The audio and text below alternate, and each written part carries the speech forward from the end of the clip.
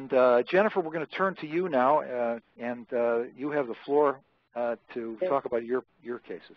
My method, or what I think about when I see a patient with dizziness is, you know, they're coming to my subspecialty practice and they want to know if it's inner ear. And to me, when I look at the balance system, I think about it as a stool. I say three-legged, but this uh, emoji just happens to have four on it. You know, the brain is the master center of balance, just like it is hearing. And we've got input into the brain from the vestibular system. We've also got a lot from the visual system. You know, you watch a merry-go-round going around and around, you feel kind of sick from it. And proprioceptive. Standing on shifting sand, for example, your balance begins to go off. What I have to do is try to figure out, you know, the, the cause of the dizziness, and in particular, if it's vestibular, then find an appropriate treatment. I put here just, you know, some differential diagnosis of dizziness, and we look at dizziness as either peripheral, which in our world means inner ear, central, meaning the brain, the master balance center here, or systemic, the types of, the causes of dizziness, just like the case that was just given a few minutes ago, and you know, something that is leading to a symptom but not, you know, specifically relating to the inner ear as the target organ of the problem here. And particularly uh, challenging problems can occur in the elderly. Uh, they almost all have poor blood supply to the inner ear, same vasculature to the balance part of the ear, hearing part. So when they've got presbycusis and problems hearing and hearing aids, you know their balance system is not being perfused normally. Many of them are on, on multiple medications you can't really measure the effects of, you know, uh, the hypertension, et cetera, et cetera, at such a small uh, level on the blood vessels into the inner ear.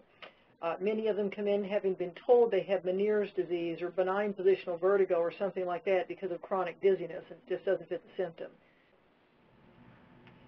Fortunately, most cases we're going to see in otology are not the urgent, like life-threatening, got to do something right now. And for those that are, like I have here, they can typically be the, the cause can be ruled in out pretty quickly with an appropriate imaging study and a good physical examination. Uh, the, you know, is it a brainstem infarct, you know, life-threatening here? Do we have a hemorrhage? Is there a CNS infection? We can pick up, again, with an exam and more promptly with an imaging study. For the otologic specifically, if they're dizzy, you know, emergently, if they're dizzy with acute otitis media, uh, if they've got otitis media with cholesteatoma, now they're dizzy. Those are things that do need to, to have treatment, surgical treatment emergently. But again, physical examination. Is the ear draining? Do they, do they have a cholesteatoma, known history, or get an otolaryngologist in to clean it and see if there is a cholesteatoma?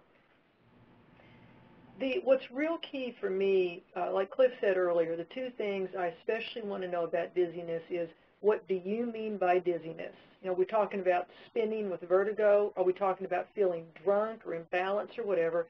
And then I want to know the timing of it. Are we talking about seconds, where we're most likely or more likely, if it's inner ear, going to be relating to something like benign positional vertigo, you know, postural and, and some positional changes will make a difference with it. If it's minutes, then I'm thinking more of a circulatory, circulatory problem or maybe central compensation that's off. When it's hours, and especially if it's spinning, I'm thinking more of Meniere's disease, some forms of migraine, or uh, vestibular hydrops. For the most part, other than a viral labyrinthitis, if they've got spinning for days and days, other than an acute viral labyrinthitis or neuronitis, it's probably not going to be inner ear at the cause of this. That, that, and it's pretty typical with the history of acute viral neuronitis with this. They often have hearing loss, or if they don't, severe dizziness. It'll be for days, but gradually get better over a series of several days to a few weeks. And if it's constant imbalance they're having, I'm going to work it up, but uh, chances are less that it's going to turn out to be a primary otol. The other key I want to know is do they have hearing loss? And patients ask all the time, or insurance companies that want to know why we're asking for authorization, why do you need an audiogram when the problem is hearing? The inner ear has that two halves, and what happens with one will often affect the other. If they've got a hearing loss, the pattern of the loss will certainly give a suggestion as to circulatory input into the inner ear. Meniere's disease, uh, hydrops, they may not even know they have a hearing loss if it's initially low frequency. So I want to know about that hearing loss with an objective test. And if they're having hearing loss with episodic vertigo, I'm beginning to think of hydropic like Meniere's. If it's hearing loss with continuous over those several days a few weeks, I'm thinking labyrinthitis. If they don't have hearing loss, then I'm thinking more isolated, like uh, benign positional vertigo, or again, that vestibular neuritis simply on the vestibular part of the inner ear. This isn't actually part of my matrix, but I put it up because I saw the list of questions that had already been put in, and there were quite a bit on what about doing the Epley over and over on patients. I put in these next couple of slides simply to answer it that what we'll I'm sure talk about benign positional vertigo, but when you have patients that you have that you think have quote positional vertigo over and over, are coming in for Epleys or having to do it, one of the things you want to think of is migraine because there's a much higher incidence of recurrent positional vertigo symptoms in patients with migraines. And I put this diagnosis that's up there, and if you look down, uh, you know, one of the keys on migraine, they, they generally have a headache or some head discomfort, or it may be some type of a, quote, sinus pain, but they have, they, they so frequently with this will have motion-induced dizziness. May not be spinning, but balance way off, and they you, you want to ask in those cases with benign positional vertigo over and over, are you, does light bother you? Does loud sound tend to bother you or tend to make you more dizzy? Because you may find that more often than you think.